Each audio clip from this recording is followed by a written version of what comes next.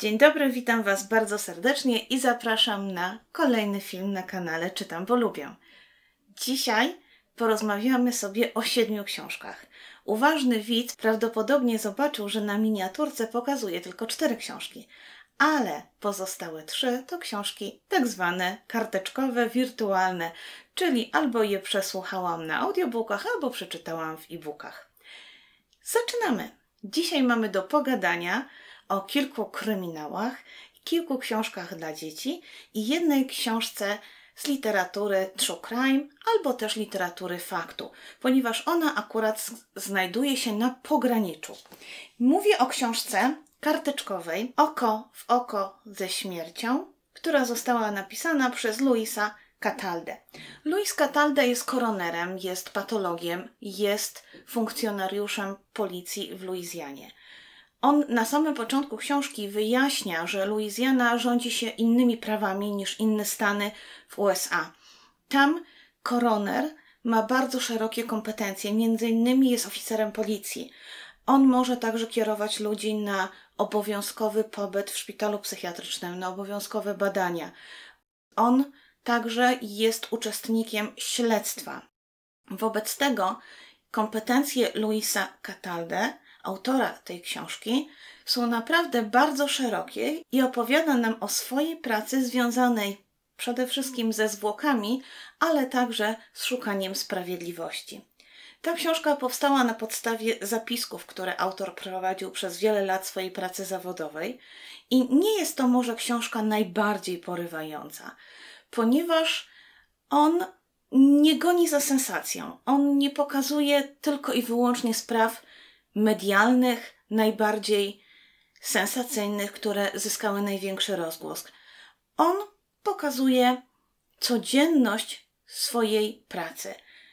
Zaczyna od tragedii, która wydarzyła się na terenie Luizjany, czyli od skutków huraganu Katrina.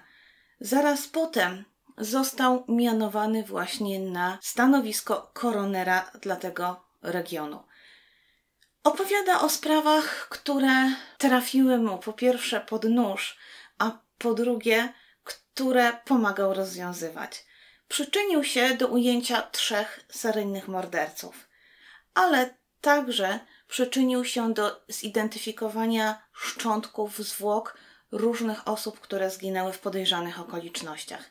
Ten mężczyzna, tak jak powiedziałam, nie goni za sensacją. Wobec tego mnie trochę jednak brakowało czegoś takiego, że koroner czy też patolog sądowy rozkrawa ciało i na podstawie stanu tego ciała, na podstawie tego, co widzi podczas sekcji zwłok, jest w stanie określić przyczynę zgonu, ale także pomóc policji w określeniu zabójcy. Bardzo często z takimi sprawami spotykamy się, czy to w literaturze, czy też także w literaturze faktu.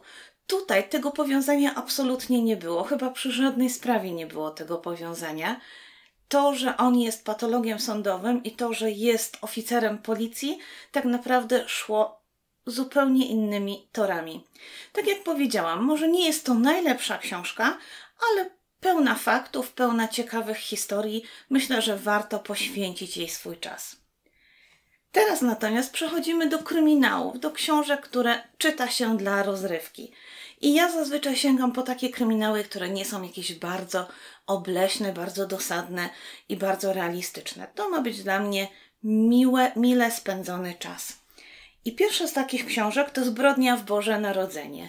Tak, oczywiście czytałam ją w święta, czy też zaraz po świętach. Jest to książka z serii o detektywie, który nazywa się Antoine Verlac.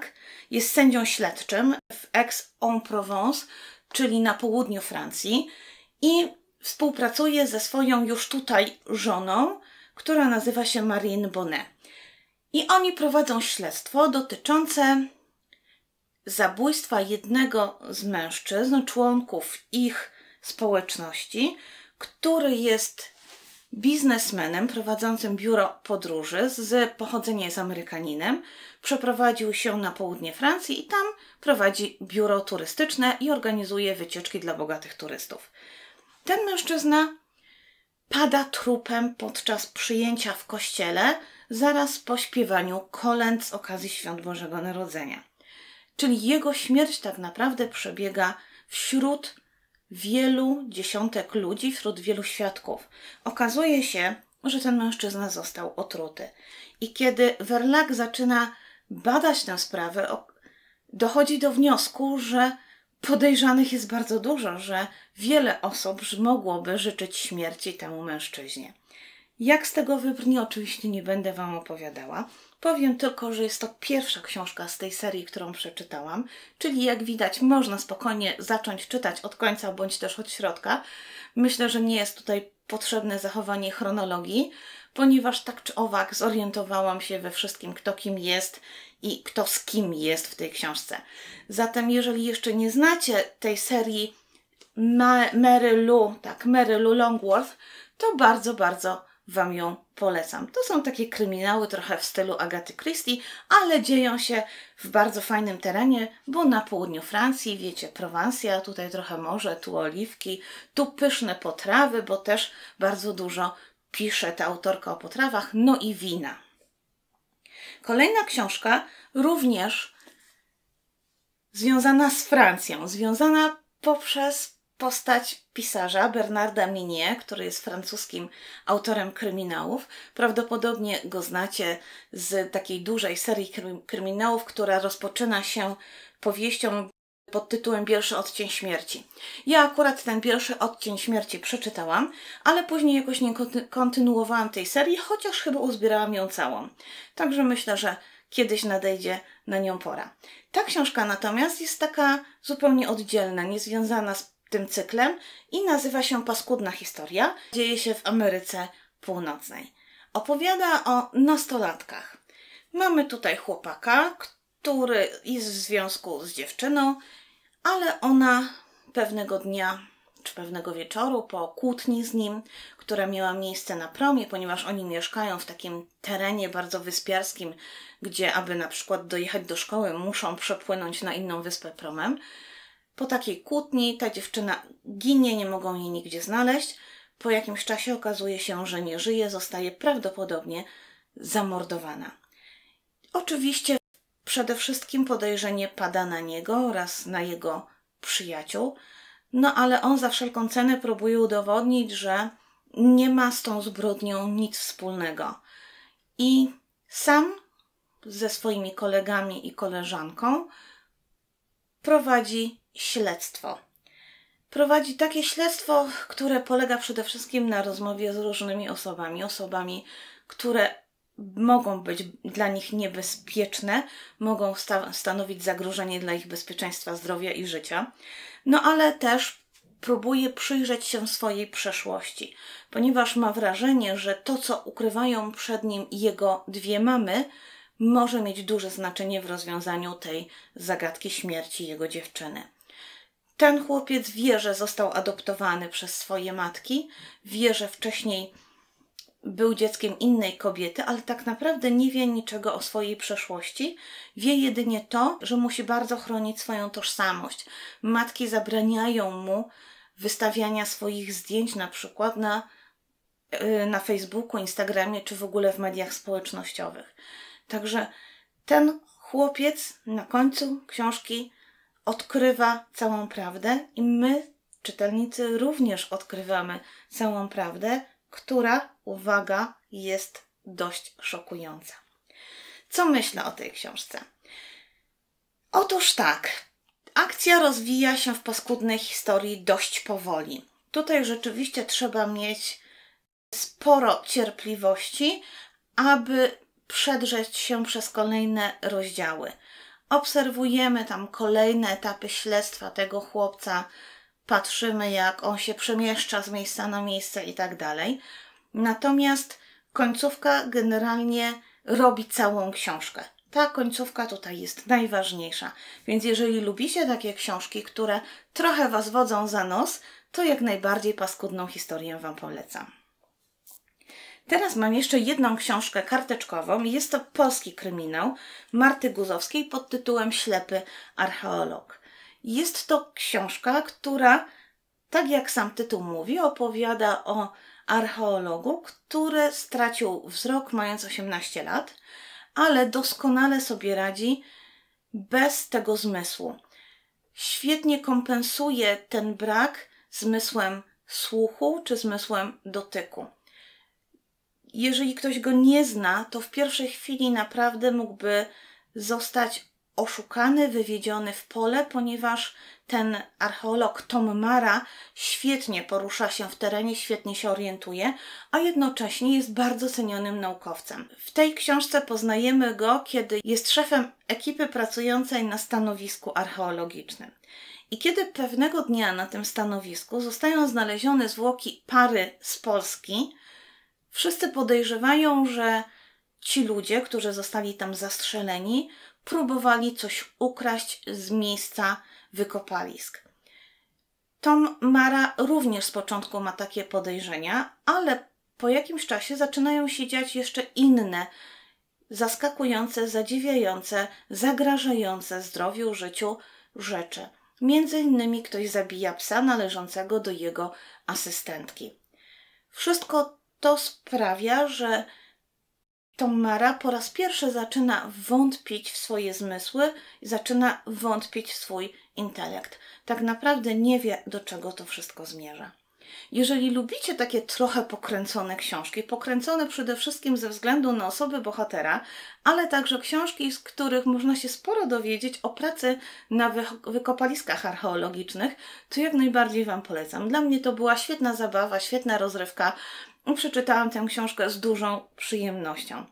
Także czytajcie Ślepego Archeologa i inne książki Guzowskiej, które dotyczą archeologii i zjawisk kryminalnych. One się naprawdę świetnie czytają i jest to doskonała rozrywka. Teraz mam jeszcze przed sobą książki dla dzieci, ale książki, które sprawiły mi niebywałą frajdę przeczytałam je z ogromną przyjemnością. Najpierw Wam opowiem o serii pod tytułem Mama w occie. To jest nazwa serii.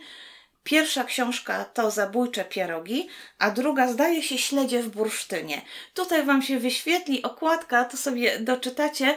Ja nie pamiętam tego tytułu, a tutaj na pierwszej części oczywiście nie ma jeszcze podanego tytułu drugiej. Jest to książka o 14-letniej dziewczynie, która nazywa się Estera Parzymięs, tak? Rodzice bardzo skrzywdzili ją i imieniem i nazwiskiem. Jest to dziewczynka, która mm, jest najbardziej tęga z całej klasy. Wobec tego zazwyczaj musi się mierzyć z dużym hejtem ze strony swoich koleżanek i kolegów, ale ten hejt także napływa do niej ze względu na to, że Estera ma sławną mamę. Mamę, która pod pseudonimem scenicznym Katarina Wege prowadzi programy kulinarne w telewizji. I kiedy mama dostaje nowy program, który polega na tym, że prowadzi te programy kulinarne z różnych miejscowości w Polsce. Te programy kręcone są w czasie weekendu. Wobec tego Esterze udaje się przekonać mamę, aby zabierała ją za sobą.